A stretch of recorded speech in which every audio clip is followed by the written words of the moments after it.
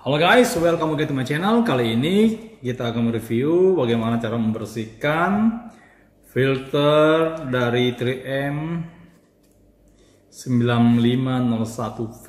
Kita bagaimana cara membersihkan dan mensterilkan filter ini, ya.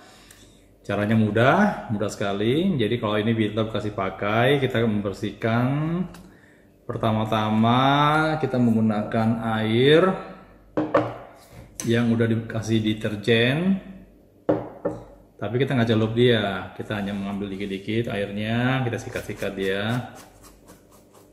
Sikat. Sikat semua permukaannya. Bagian dalamnya juga kita sikat ya kita sikat dia. Dengan menggunakan air ya. Kita bersihkan semuanya dari debu-debu kalau ada air blower air air blower lebih bagus lagi ya disemprot lagi ya semuanya disemprot. Biar kuman-kuman yang menempel di sini bersih semuanya ya. Oke.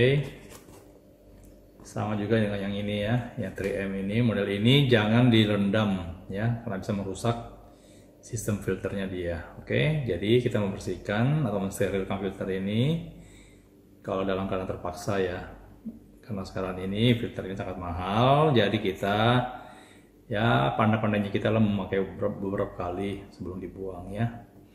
Oke kita akan ambil air. Air kita ya bersihkan permukaannya. Ambil air lagi cuci-cuci. Oke kita sikat biar debunya nggak terbang ke air ya. Ambil lagi air sikat debunya nempel di sini. Ini kita celup. Setelah filternya ini kita anggap udah bersih ya. Bagian dalamnya juga kita bersihin. Jadi sebaiknya bagian dalam ini kita menggunakan tisu ya atau kita menggunakan protective plus biar nggak langsung ludah kita nempel ke sini. Jadi lebih susah cara membersihkannya ya.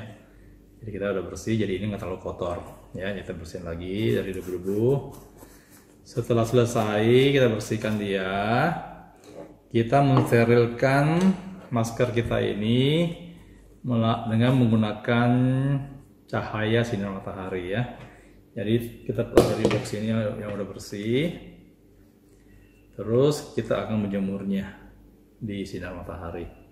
Kurang lebih 15 sampai 30 menit lah kita menjemurnya dia dan masker ini siap dipakai. Oke, kita sekarang akan jemur dulu. Oke, okay, let's go. Oke, okay, jadi sekarang kita sudah menjemurnya, lagi menjemur masker kita ini di bawah sinar matahari. Ya. Jangan terlalu lama lah. Paling 15 menit sampai 30 menit. 15 menit aja. Setelah itu kita balik lagi dia, ya. Biar bakterinya mati semuanya di dalam dan di luar ya. Ini cara mudahnya jadi ini 15 menit kita biarkan dia. Setelah 15 menit kita balik lagi dia. Dan kita biarkan cahaya matahari masuk ke sini langsung mensterilkan dia. Panas banget ya. Oke setelah 15 menit masker ini udah siap dipakai kembali.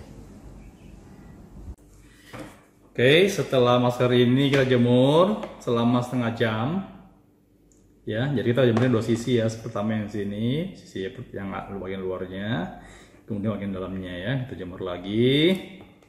Jadi biar virus dan bakterinya mati semuanya. Ya oleh sinar matahari. Ya jadi sekali lagi ini jangan dicuci menggunakan sabun ya jangan jangan direndam ya. Kita menggunakannya dengan cara simpel aja dan bermanfaat. Oke. okay setelah dicuci gitu didiamin dulu beberapa saat kurang lebih 5 menit biar dia nggak terlalu panas.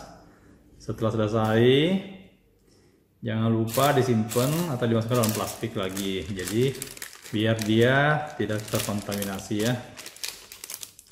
Biar nggak terkontaminasi dari luar lagi.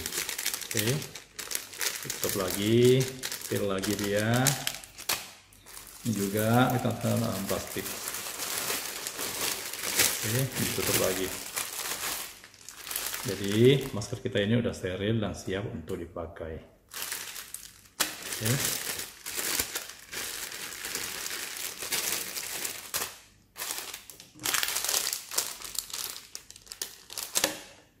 Oke guys, demikianlah review dari kami Ronatek mengenai bagaimana cara membersihkan dan mensterilkan masker 3M 9501 V Plus dan masker 3M 8210.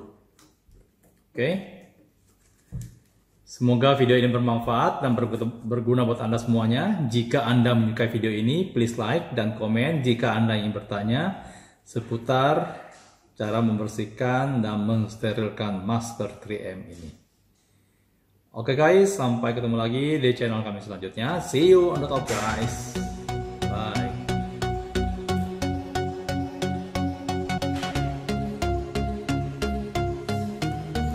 Halo guys.